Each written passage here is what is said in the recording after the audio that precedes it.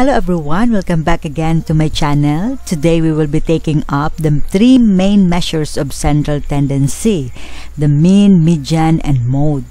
So what are measures of central tendency? It is defined as a quantitative representation of the set of data under investigation. And let's take up the mean.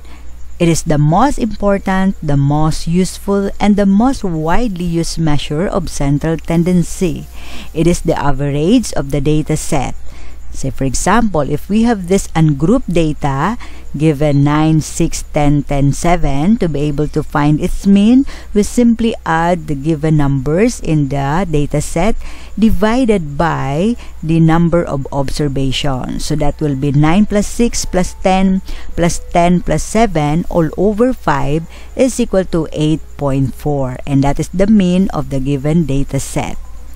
And how about median? Median is the middle value in a set of numbers.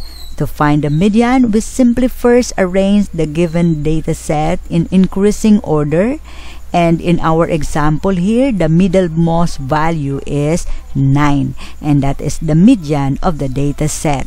So what if we have given 6 numbers and we have two middlemost value?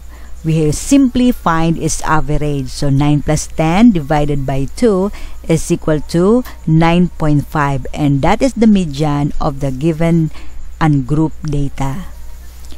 Then the mode is the most frequently appearing number in the data set.